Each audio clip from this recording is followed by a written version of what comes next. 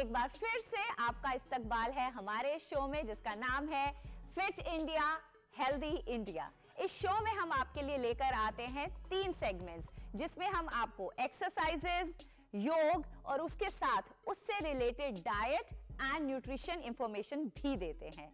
तो आज का हमारा टॉपिक होने वाला है कमर दर्द। हमें इस टॉपिक के बारे में बहुत सारी क्वेरीज आई और हमें लगा कि ये टॉपिक आपके लिए बहुत मददगार साबित होगा। कमर दर्द के क्या रीजंस होते हैं, ये क्यों होता है, इसके बहुत सारे उपाय होते हैं और उन्हीं सब के बारे में आज का शो हमारा फिट इंडिया हेल्दी इंडिया हम इस शो में इससे रिलेटेड एक्सरसाइजेस आप किस तरह का योग कर सकते हैं और किस तरह की वर्जिश को अवॉइड करना चाहिए और उसके साथ साथ आपको किस तरह की डाइट और न्यूट्रिशन गाइडलाइन को फॉलो करना चाहिए। इन सभी के बारे में हम आपको डिटेल डिस्क्रिप्शन देंगे हमारे शो में। तो सबसे पहले हम चलते हैं अपने एक्सरसाइज सेगमेंट में। कमर दर्द पुअर पोस्चर के कारण पुअर लिफ्टिंग के कारण, बहुत लंबे टाइम तक बिना किसी वर्जिश के बैठे रहने के कारण, जिसे हम सेडेंट्री लाइफस्टाइल कहते हैं। In fact sedentary lifestyle is the new smoking ये बहुत बार बोला जाने वाला और बहुत बार सुनने में आने वाला फ्रेज है। तो आइए हम चलते हैं अपनी एक्सरसाइज सेगमेंट में, जहाँ पर हम दिखाएँगे वो सभी वर्जिश जो आप कर सकते हैं हमारे आज के फिटनेस इन्फ्लुएंसर के साथ। तो चलिए हम चलते हैं अपने एक्सरसाइज सेगमेंट में। हेलो दोस्तों welcome to our show Fit India Healthy India के जिम सेगमेंट में। मेरा नाम नितिश है और मैं आप लोगों को आज ट्राइसेप्स मसल्स के बारे में बताऊँगा और उसके दो से तीन वर्कआउट भी बताऊँगा। तो दोस्तों, जैसा कि हमें पता है, कोई भी एक्सरसाइज करने से पहले वार्म अप बहुत ज़रूरी होता है। वो क्यों? वो इसलिए कि हमारी मसल्स अच्छे से परफॉर्म कर पाए।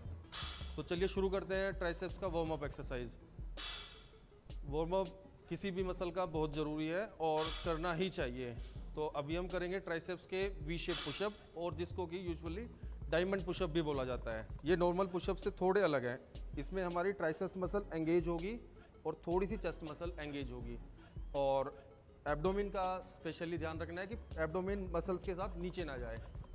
ये हो गया हमारा ट्राइसेप्स का वार्म अप का वी शेप पुशअप।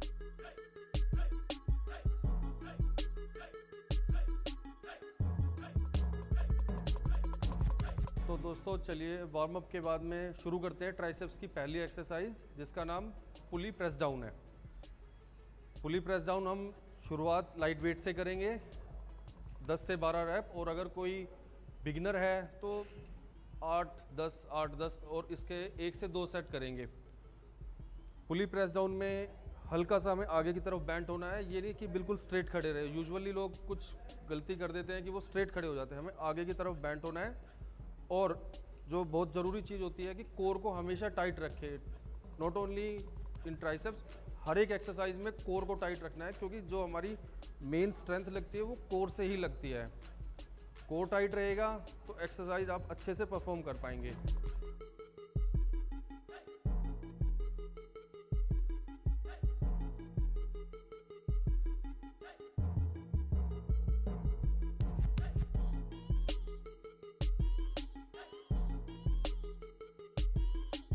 तो चलिए आइए चलते हैं ट्राइसेप्स की नेक्स्ट एक्सरसाइज की तरफ़, जिसको ओवरहेड एक्सटेंशन इसमें सिर्फ़ हमारी ट्राइसेप्स की मसल एंगेज होगी।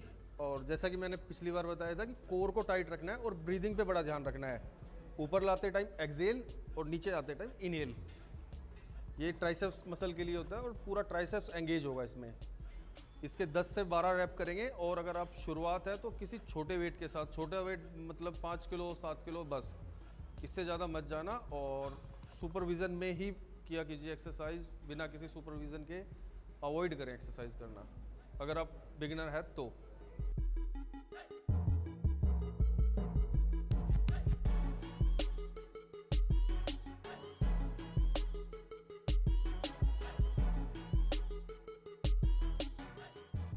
तो चलिए स्टार्ट करते हैं ट्राइसेप्स की तीसरी एक्सरसाइज जिसका नाम है बार डिप्स तो शुरू करते हैं हम बार डिप्स इसमें हमारी जो लोअर बैक की पोजीशन होगी, वो बिल्कुल पैरेलल स्ट्रेट होगी। इसमें बैठ नहीं होना है। बिल्कुल स्ट्रेट डाउन एंड अप धीरे धीरे जो रेंज ऑफ़ मोशन है, वो धीरे धीरे होगा और मूवमेंट स्लो होगी। पूरा नीचे मसल जाएगी, पूरा ऊपर। बिल्कुल स्लो स्लो करना है। और अगर आप बिगनर है तो एक थोड़े बड़े वेट के साथ में करेंगे, जिससे कि आपका बॉडी वेट पुश करे आपको ऊपर। अगर आप बिगनर है तो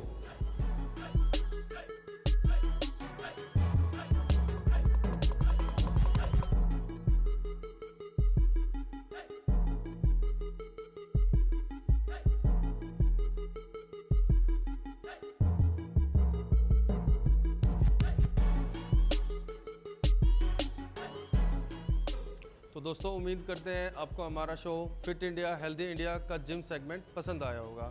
मैं आशा करता हूँ कि आप सभी लोग अपना ध्यान रखेंगे, स्वस्थ रहेंगे और फिटनेस पे कुछ टाइम इन्वेस्ट कीजिए। और एक ज़रूरी बात, कभी भी कोई भी वर्कआउट बिना किसी सुपरविज़न के ना करें। तो अपने आप को सेहतमंद रखिए, खुश रहिए और फिट रहिए। एक्सरसाइज सेगमेंट के बाद आइए, अब हम चलते हैं अपनी योग की सेगमेंट में, जहाँ पर हमारे इन्फ्लुएंसर आपको सिखाएँगे, वो सभी के सभी स्ट्रेचेस वो सभी के सभी आसन जो हेल्प करेंगे आपको बैक पेन को रिलीज़ करने में। इनफैक्ट ये सभी के सभी आसन बहुत ही इफ़ेक्टिव हैं, बहुत ही सिंपल हैं। हेल्प करेंगे आपको आपकी कमर से सारे प्रेशर को ईज आउट करने में, लेकिन एक डिस्क्लेमर है कि आप इन सभी वर्कआउट्स को और इन सभी आसन को करने से पहले अपने डॉक्टर से ज़रूर सलाह लेंगे। तो आइए हम चलते हैं अपनी योग की सेगमेंट में, जहाँ पर हम सीखेंगे वो सभी के सभी व्यायाम जो हेल्प करेंगे, कमर को स्ट्रॉन्ग बनाने के लिए, कमर को स्ट्रेच करने के लिए और आपकी पूरी स्पाइन को, आपकी पूरी रीढ़ की हड्डी को अच्छे से लेंदन करने के लिए।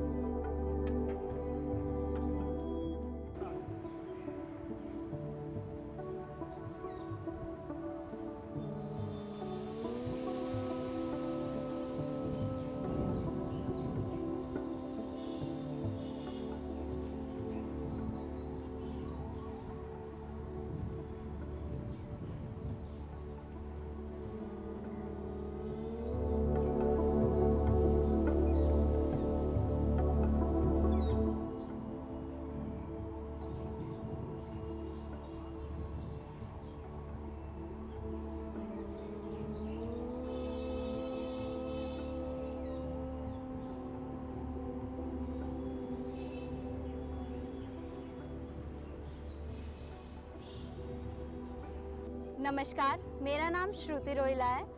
फिट इंडिया, हेल्दी इंडिया में आप सभी का स्वागत है। आज हम बात करेंगे कमर दर्द के बारे में। योग अभ्यास किस तरह लाभकारी है कमर दर्द में? चलिए, आज का सत्र आरंभ करते हैं। सबसे पहले खड़े होकर किए जाने वाले आसन में ऊर्ध्व हस्तोतान आसन दोनों पैरों के बीच कुछ इंच की दूरी बनाइए। श्वास भरते हुए दोनों भुजाओं को सामने से कंधे के स्तर तक उठाइए। दोनों हाथों की उंगलियों को आपस में फंसाते हुए, श्वास छोड़ते हुए हथेलियों को बाहर की ओर पलटिए। एक बार पुनः श्वास भरते हुए हाथों को सिर से ऊपर आसमान की ओर खींचने का प्रयास।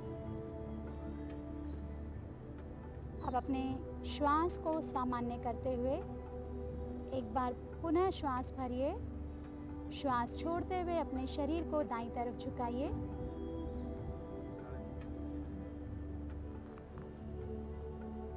श्वास भरते हुए मध्यम भाग में वापस आइए। श्वास छोड़ते हुए अपने शरीर को बाईं तरफ़ झुकाइए। सामान्य श्वास प्रश्वास के साथ कुछ देर इसी स्थिति में बने रहिए। श्वास भरते हुए पुनः वापस मध्यम भाग में आ जाइए। श्वास छोड़ते हुए दोनों हाथों को बगल से वापस लाते हुए ताड़ आसन की स्थिति में विश्राम कीजिए। अगला अभ्यास। अर्ध उष्ट्रासन। अर्ध उष्ट्रासन के अभ्यास के लिए सर्वप्रथम वज्रासन की स्थिति में आ जाइए। अपने नितंब को दोनों एड़ियों के बीच में रखते हुए, कमर व गर्दन सीधा रखते हुए, दोनों हाथों को अपने घुटनों पर रखिए और विश्राम कीजिए। यह वज्रासन की स्थिति है। अब वज्रासन से हम अर्धुष्ट्रासन का अभ्यास करेंगे। धीरे से घुटने के बल खड़े हो जाइए। अपने घुटनों और पंजों के बीच में तीन से चार इंच की दूरी बनाइए। धीरे से अपने दोनों हाथों को नितंब पर रखिए। और कुछ इस प्रकार अपने हाथों की दूरी बनाइए कि आप अपनी कोहनियों को समानांतर कर सके पीछे की ओर। अब श्वास भरते हुए धीरे धीरे गर्दन वाले भाग को पीछे की ओर झुकाइए। श्वास छोड़ते हुए अपने शरीर की क्षमता के अनुसार पीछे की ओर झुक जाइए और सामान्य श्वास प्रश्वास के साथ इस आसन में बने रहिए। अर्धउष्ट्रासन का अभ्यास हमारे कमर की हड्डी को लचीला बनाता है और फेफड़ों की कार्य क्षमता को बढ़ाता है। श्वास भरते हुए पुनः वापस आइए। श्वास छोड़ते हुए वज्रासन की स्थिति में बैठ जाइए और विश्राम कीजिए। अगला अभ्यास, वक्रासन। वक्रासन के लिए धीरे से अपने दोनों पैरों को सामने की ओर सीधा कीजिए। दोनों हाथों को नितंब के बगल में रखते हुए अपने कमर व गर्दन को सीधा रखने का प्रयास। यह प्रारंभिक स्थिति है। इस स्थिति को दंड आसन कहा जाता है। वक्र आसन के लिए धीरे से अपने दाएँ पैर को मोड़िए और बाएँ घुटने के नज़दीक रखने का प्रयास। अब अपने बाएँ हाथ को दाएँ घुटने के बाहर से ले जाते हुए पंजे को पकड़ने का प्रयास। धीरे से अपने दाएँ हाथ को पीछे की ओर सहारा लेते हुए, श्वास छोड़ते हुए अपने शरीर के ऊपरी भाग को पीछे की ओर घुमाने का प्रयास। स्थिति में सभी अभ्यासी अपनी क्षमता अनुसार अभ्यास करेंगे। कुछ देर सामान्य श्वास प्रश्वास के साथ स्थिति में बने रहिए। श्वास भरते हुए धीरे से पहले वाली स्थिति में वापस आइए। अपने दोनों हाथों को बगल में रखते हुए अपने दाएँ पैर को सीधा कीजिए। अभी इस, इसी अभ्यास को हम बाएँ पैर के साथ भी दोहराएँगे। बाएँ पैर को मुड़ते हुए दाएँ घुटने के पास रखिए। अब जिन्हें संभव ना हो अपने पंजे को पकड़ पाना वो अपने घुटने को भी पकड़ सकते हैं। पहले अपने दाएँ हाथ से घुटने को पकड़िए और अपने बाएँ हाथ का पीछे की ओर सहारा लीजिए। श्वास भरें और अपने रीढ़ की हड्डी को एक बार ऊपर की ओर खींचने का प्रयास। श्वास छोड़ते हुए अपने शरीर को बाईं तरफ़ यथासंभव घुमाने का प्रयास। सामान्य श्वास प्रश्वास के साथ इस स्थिति में बने रहिए। हर अभ्यास को अपनी क्षमता के अनुसार ही करना चाहिए।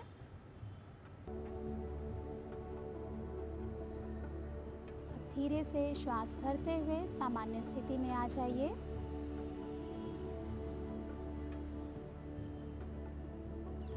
दोनों हाथों का पीछे की ओर सहारा लेकर विश्राम आसन में विश्राम कीजिए। वक्र आसन का अभ्यास हमारे कमर की निचली मांसपेशियों को लचीला बनाता है। उसी के साथ साथ रीढ़ की हड्डी को सुदृढ़ करने में मदद करता है। अगला अभ्यास, सरल भुजंगासन। सरल भुजंगासन के लिए धीरे से पेट के बल लेट जाइए।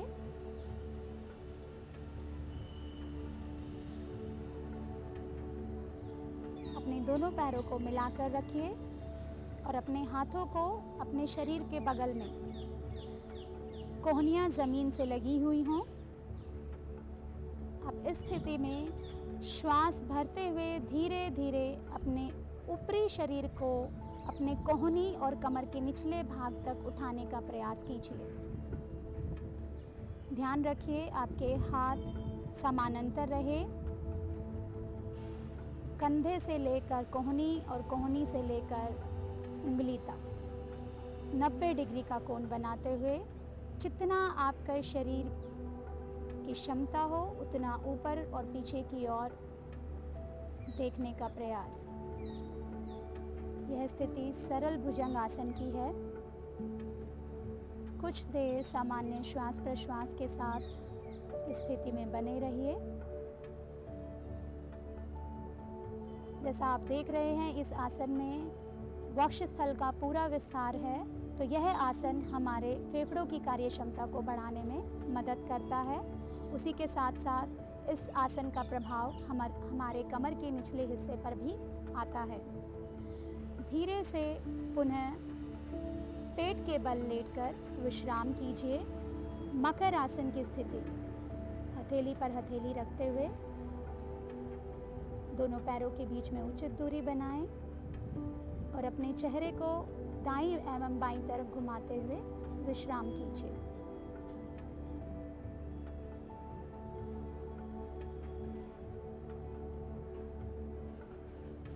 अगला अभ्यास हम पीठ के बल लेट कर किए जाने वाले आसन का करेंगे। धीरे से करवट लीजिए और पीठ के बिल लेट जाइए।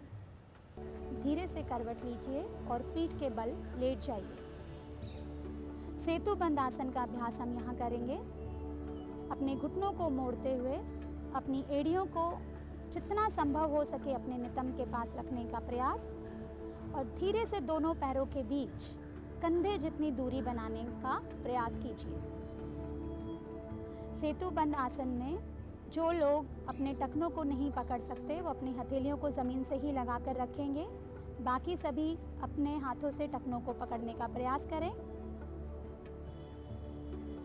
अब श्वास भरते हुए धीरे धीरे अपने नितंब और कमर के नीचे वाले भाग को यथासंभव ऊपर की ओर उठाने का प्रयास। अंतिम स्थिति में सामान्य श्वास प्रश्वास के साथ बने रहिए। श्वास छोड़ते हुए धीरे धीरे पुनः सामान्य स्थिति में आइए। पैरों को सामने की ओर सीधा करते हुए विश्राम कीजिए।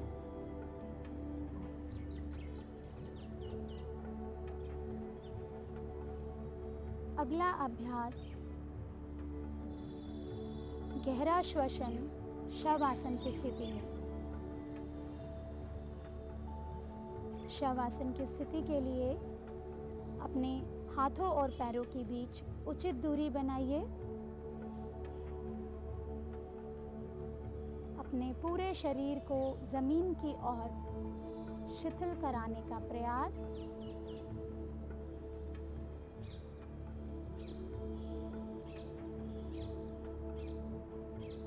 शरीर के प्रत्येक अंग को ढीला छोड़ने का प्रयास। यह शव आसन की स्थिति है। अब हम इसी स्थिति में डीप ब्रीदिंग गहरा श्वसन का अभ्यास करेंगे। डीप ब्रीदिंग में श्वास भरते हुए लंबा धीमा गहरा श्वास और उसी के साथ श्वास छोड़ते हुए लंबा, धीमा, गहरा प्रश्वास। श्वास लेते हुए उदर की मांसपेशियाँ वक्षस्थल और कंधे, पूरा श्वास भरते हुए ठीक उसी प्रकार श्वास को छोड़ना, कंधे वक्षस्थल और उधर वाला भाग।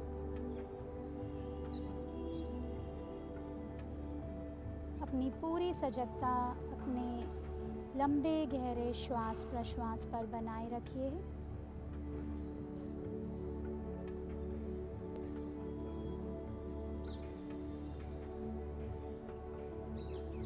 शुरुआत में अभ्यास करते हुए आप अपनी श्वास प्रश्वास को गिनती के साथ भी कर सकते हैं। आपकी पूरी सजगता, पूरा भाव आपके श्वास लेने और छोड़ने पर रहेगा। शरीर पूरे तरीके से ज़मीन पर शिथिल हो चुका है।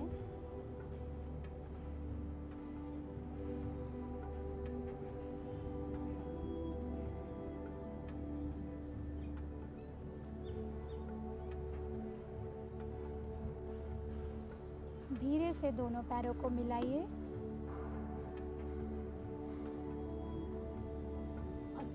करवट करके उठकर बैठने की स्थिति में आइए। किसी भी सुखपूर्वक स्थिति, कमर व गर्दन सीधी रहेगी।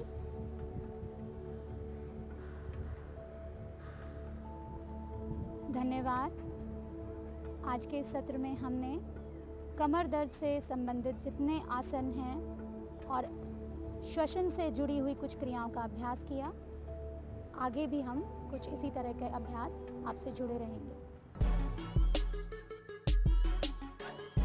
So, कहा जाता है कि योग एक बहुत ही सिंपल और इफ़ेक्टिव वे है जिसमें आप इस तरह के दर्द जैसे कमर का दर्द और चाहे रीढ़ की हड्डी का दर्द या सर्वाइकल स्पाइन का पेन को बहुत इजीली कम भी कर सकते हैं और निजात भी पा सकते हैं। तो मैं आशा करूँगी और इनफैक्ट मुझे यकीन है कि आप इन सभी स्ट्रेचेस को रूटीन से फॉलो करेंगे और इसका खूब फ़ायदा उठाएँगे।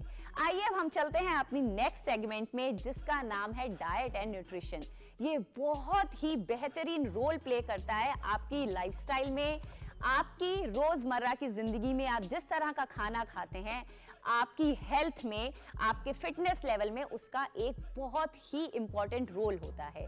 तो अगर आपकी कमर में दर्द रहती है तो आज हमारी जो डाइट की इन्फ्लुएंसर हैं, जो हमारे साथ न्यूट्रिशनलिस्ट जुड़ी हुई हैं, वो आपको गाइड करेंगी आपको क्या क्या इंक्लूड करना चाहिए अपनी डाइट में, जो हेल्प करेगा आपको इस तरह की पेन से निजात पाने के लिए।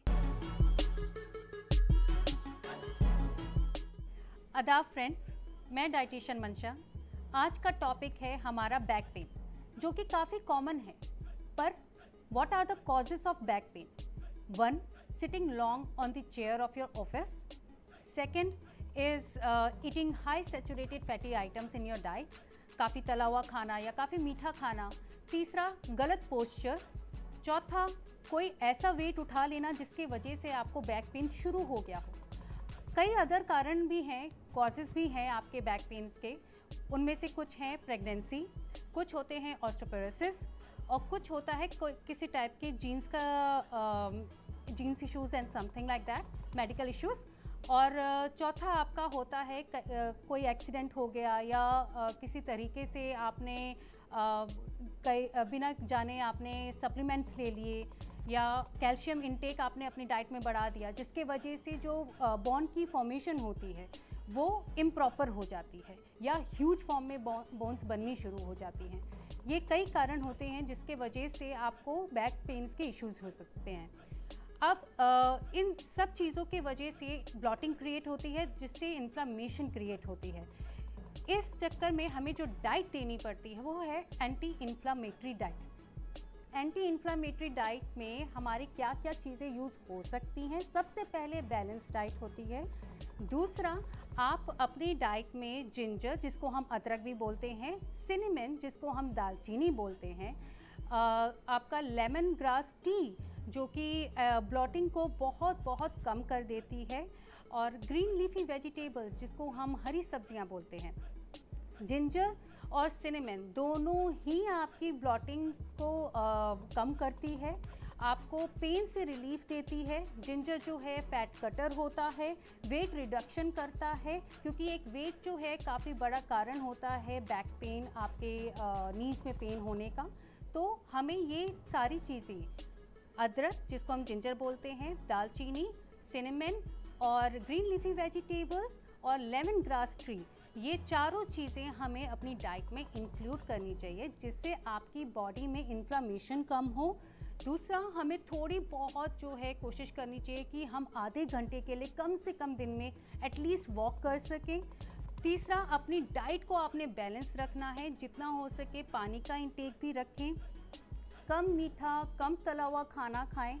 हो सके तो अपने डाइट में फ्रूट्स और हरी सब्जियों को इंक्लूड करें जिससे आपकी बॉडी जो है इस दर्द को इस पेन को लड़ सके इन्फ्लामेशन को लड़ सके और आपकी ब्लॉटिंग की जो इशू है जो सबसे ज़्यादा आपको आ, बैक में पेन देता है हार्ट में पेन देता है वो चीज़ें आपकी कम हो सकें।